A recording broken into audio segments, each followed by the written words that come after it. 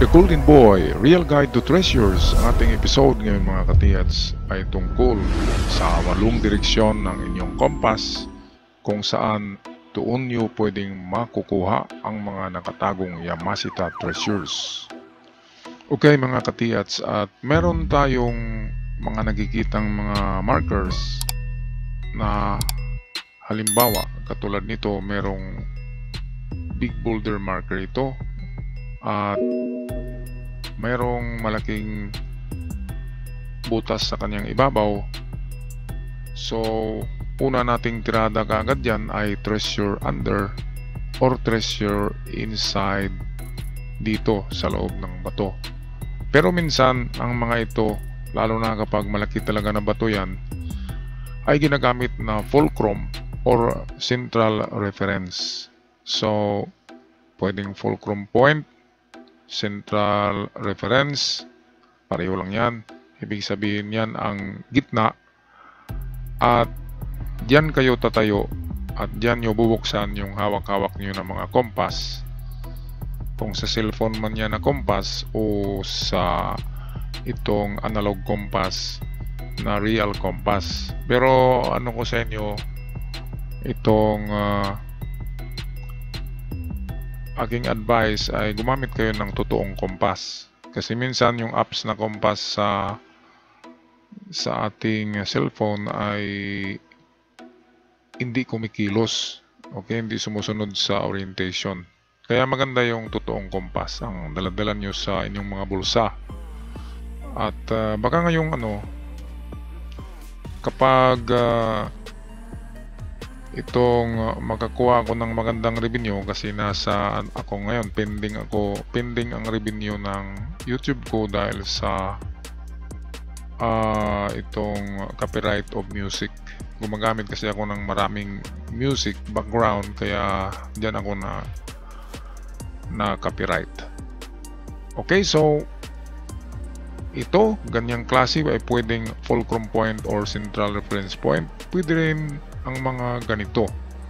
Itong malalaking bato na merong uh, mga bilog sa ibabaw or uh, pwedeng square yan na nakatatak na malaki at pwede ring uh, triangle ang nakatatak at yan ay situated sa ibabaw hindi sa gilid ng bato kaya kailangan yan ay masabi natin na fulcrum point or central reference point kapag dito siya sa itaas. At kung sa gilid siya, yan, ay iba na ang kahulugan yan. Okay, yan ay mga ano na yan, pointer to digging spot. Mga treasure under ito. Pero kapag ibabaw, pwedeng dalawang kahulugan yan. Pwedeng treasure inside that big rock or fulcrum or reference central uh, central referensya or central marker.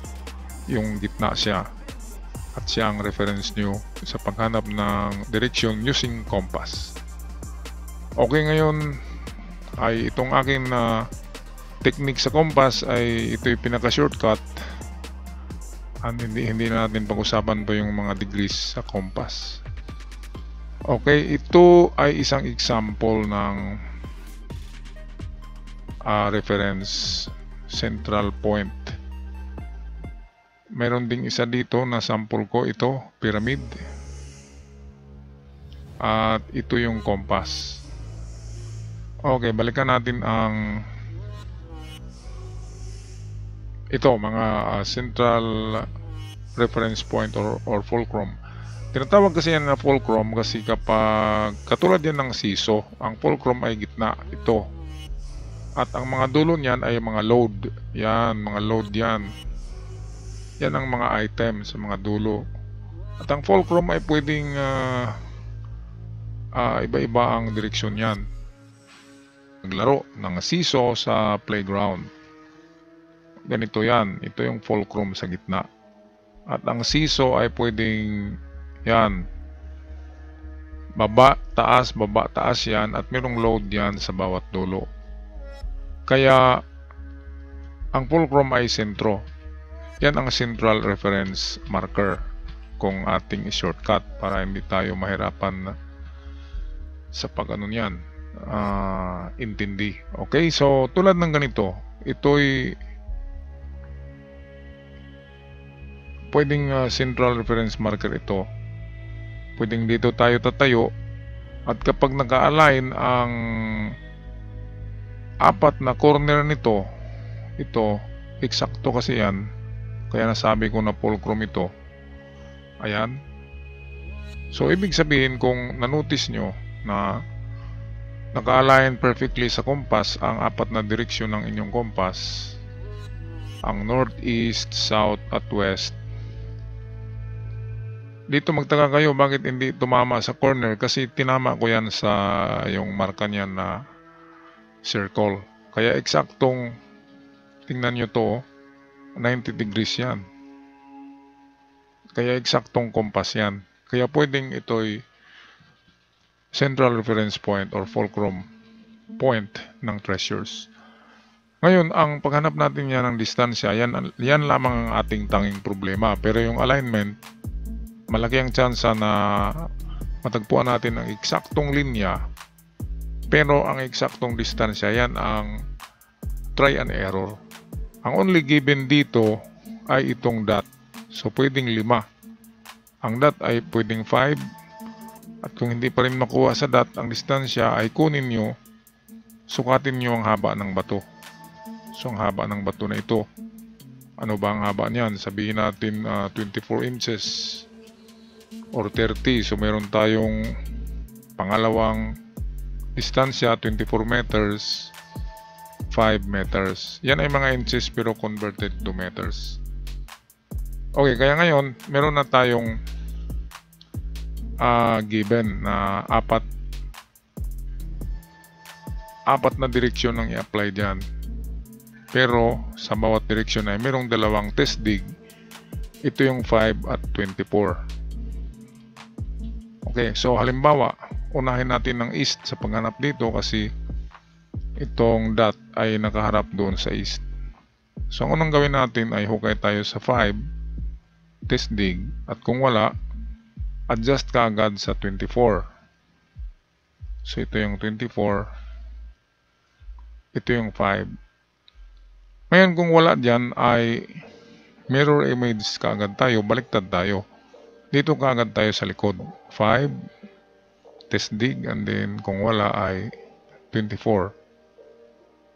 Ayan. At saka natin tirahin ang north at south. Kapag hindi nyo natagpuan sa unang tinuturo ang east at west. So, susunod yan ay puntahan nyo ang norte. Ganun pa rin, 5 and 24. At kung wala pa rin, ay dito na sa south. 5 at 24 meters pa rin. Ngayon, meron pa yung ano, itong uh, pang uh, 5, 6, 7, 8 na direksyon. Ano ba yun? Yun ang mga uh, kalagitnaan ng kada direksyon sa kompas. Halimbawa ito, yan ay northwest. Dito naman sa kabila, ito ay southeast. At dito naman, ayan, yan ay southwest at northeast tong dito. Kaya ang mga ito ay possibilities din na dito nila inilagay na alignment at hindi doon sa totoong apat na original uh, direksyon ng compass. Kaya pwedeng dito sila nagbaon 5 or sa 24. Kung wala dyan, lipat na naman kayo dito sa northwest, ganun pa rin 5 and 24. Kaya uh, ang ating pamagat sa ating episode ngayon ay walong direksyon ng test dig. Okay, kasi walong direksyon ito. Pero umpisa lamang kayo sa apat muna. At kapag wala talaga ay patuloy kayo sa walo. Okay, ah, madali lang naman yung apat muna At saka na yung uh, kasunod yan, okay? Mga katiyats, ganyan talaga ang ano, pag treasure hunt. Pero kapag meron kayong resources, pera, mayaman kayo, pwede nyong ipabako lahat ito. Ang circumference niyan, 24 meters galing sa gitna, galing dito, ipabako nyo yan lahat, 24 meters, parang swimming pool, ang laki. Parang dalawang swimming pool yan. At siguradong makuha nyo yung item. Kasi ano ba namang ginagawa yung central marker dyan kung walang treasure na nakapalibot sa kanya. At baka hindi lang isang uh, digging, digging uh, spot o hindi lang isang deposito ang makuha nyo dyan, baka merong pang dalawa o tatlo kapag binakho nyo yan. Pero kasi itong atin, kaya nga nag-treasurehan tayo kasi wala tayong milyones. Kaya maghukay muna tayo, hukay-hukay lang. At kapag mayaman na tayo, tsaka tayo bibili ng bakho o magrenta. At ganito na ang klasing pag-atake natin sa mga treasure marker. Okay, meron na akong isa pang example. Ito. Kung nakita nyo ito, ito ay pyramid. Geometric shape. At meron siyang apat na corners. Yung isa in invisible, nandito yan sa likod, nagaganyan yan. Ayan, at kung nakita nyo, ang dulo nito ay sintro. Ngayon, ang mga corners niyan ay pwedeng naka-align yan sa apat na direksyon ng compass. Example ito, pwedeng dito yan. Ayan, pwedeng ito'y west, ito'y east, at pwedeng uh, itong dito ay north north at south okay ang uh, pyramid kasi kapag nasa ibabaw tingnan yan top view ay ganito yan square yan and then sa gitna yung kanyang pyramidon yung dulo and then kung i-connect natin yung mga corners niyan ang makita nyo ay parang X. Okay, kaya isa sa pag-atake ng pyramid treasure marker ay ang baba. Pero kapag wala kayong makuha sa baba niyan, kasi ang X nagsasabi na right on target, itong X, uh, target na yan, dyan talaga yan. Dyan magukay, dyan ang entrance. Pero kapag wala dyan, ibig sabihin, yan nakita nyo na pyramid rock ay fulcrum point or central reference marker. Kaya diyan kayo tatayo at ilabas nyo na naman ang inyong compass at hanapin nyo ang apat na direksyon. At kapag uh, tumama ang apat na direksyon sa apat din na corners nitong pyramid rock na nakita nyo, lalo na kapag malaki yan, uh, kasing laki ng tricycle or ng bahay kubo, so automatic yan na yan ay marker or fulcrum point or central marker or reference marker. Okay, so dito kayo tatayo sa gitna. Dito kayo at uh, tingnan nyo ang compass. At kapag nag-align ng perfect, perfectly aligned ang mga corners nitong pyramid na nakita nyo, therefore yan nga ay ang fulcrum point or the central reference marker. Okay, ngayon, iba-iba kasi ang mga distansya diyan. So kung ganyan ang binigay, nakakita kayo ng ganyan, pyramid, hanapin nyo sa mga gilid niyan kung meron bang tatlong guhit or meron bang V na merong isang guhit, ganyan. Kung meron kayong makitang mga ganyan, yan ay nagbibigay ng directions. Pero kapag wala, ay uh, gamitin natin ang ating uh, formula for distance ang 357 357 din sa north 357 sa lahat ng direksyon nito. So apat na direksyon tatlong test dig 357 meters. So ibig sabihin ay 3 times 4 uh, 12 12 digging spot ang ating magawa sa paghanap ng treasure sa ganitong uh, marker na walang binigay na distansya. Pero kapag mayroong binigay na distance, example, yung ganyan, pwedeng 4 yan at, uh, at pwedeng 6. Pero sa Japanese, yan ay magiging 6. Pero kung basahin natin yan sa Roman, yan ay 4. So, 4 meters. Pero sa Japanese, ang B kasi nila ay 5 yan. Ang din isang guhit ay 6. So, 1 plus 5 yan. So, 6 ito. Sa Japanese ang reading. So, kapag may ganyan na marka, example lang yan ha.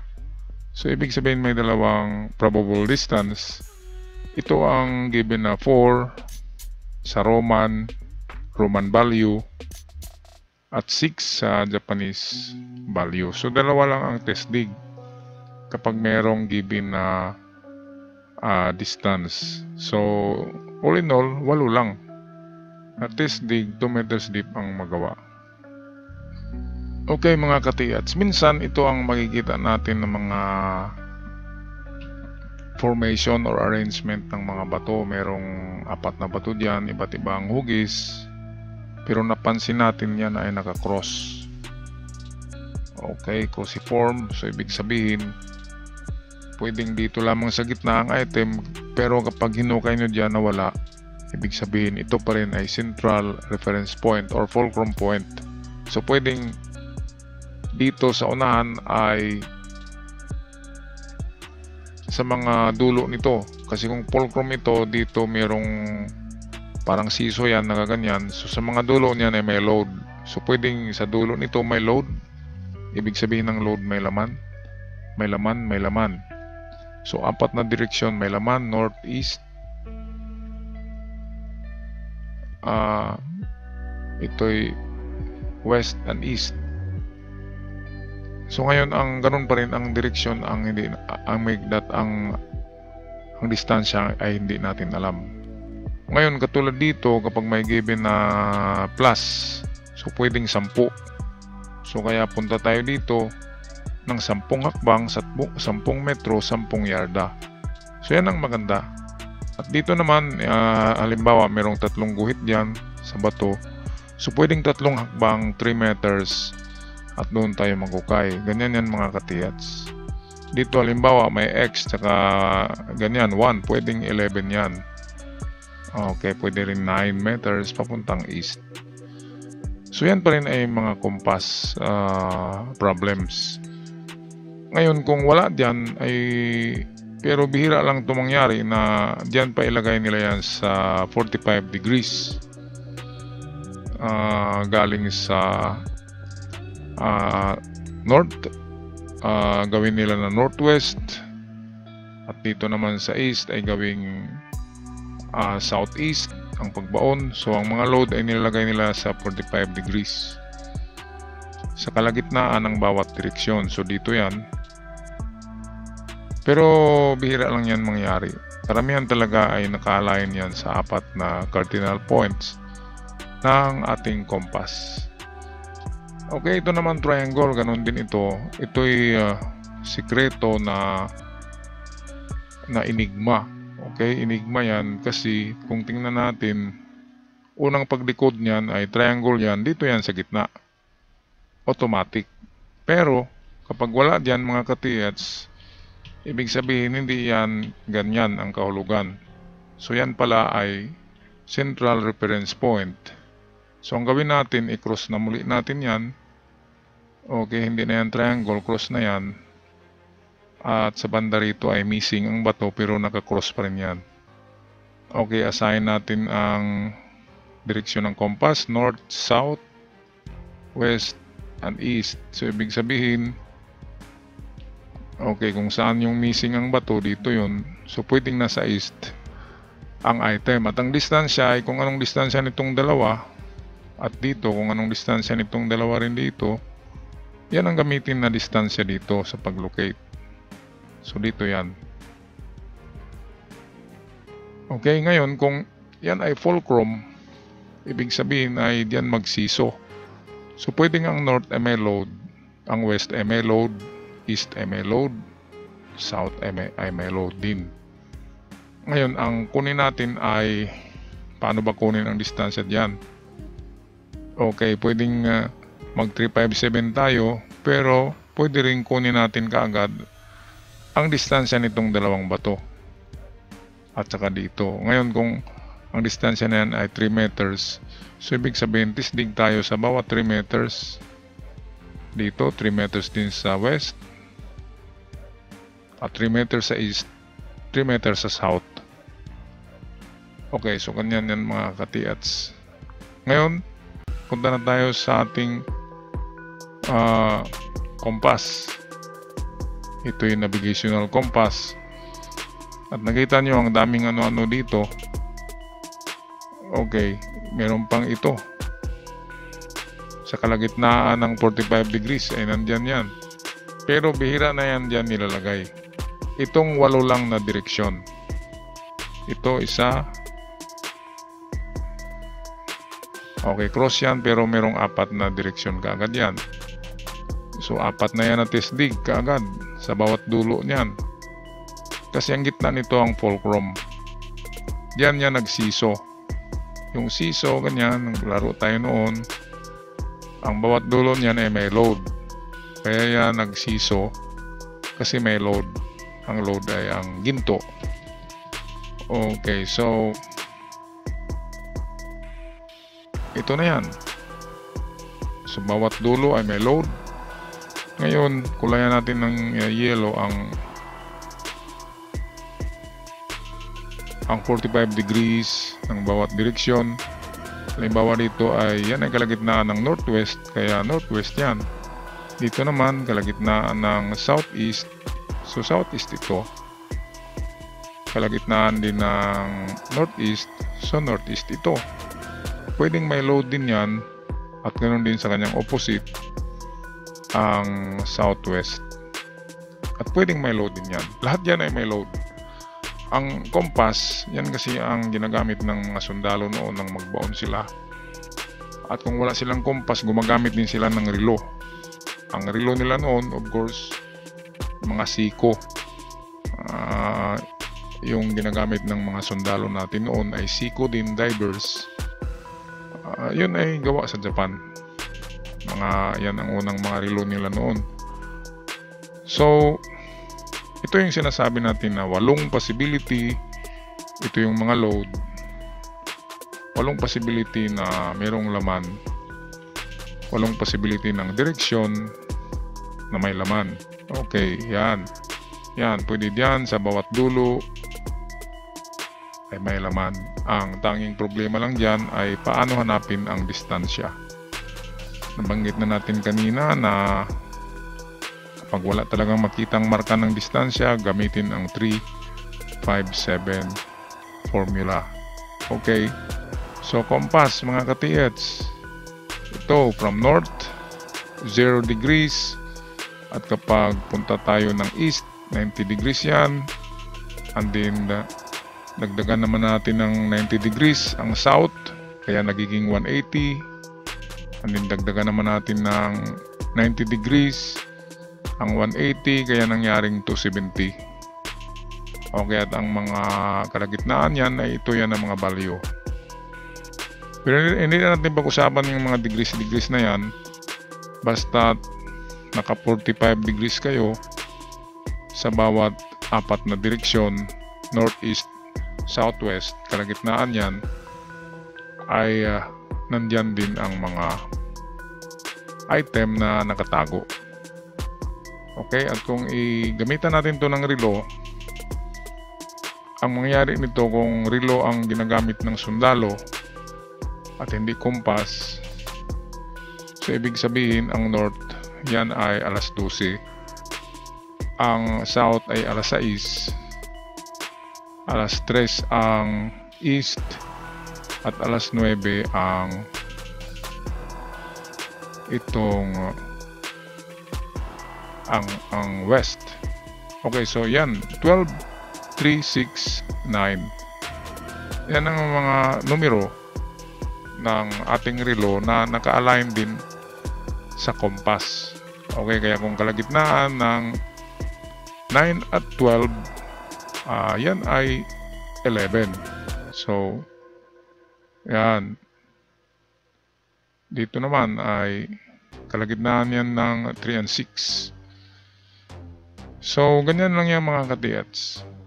Kailangan talaga may kompas tayo at uh, baka surtihin ako na merong magandang revenue ay magpa-raffle ulit ako ng kompas at meron akong padalhan mga limang subscribers sa channel na ito, The Golden Boy Real Guide to Treasures.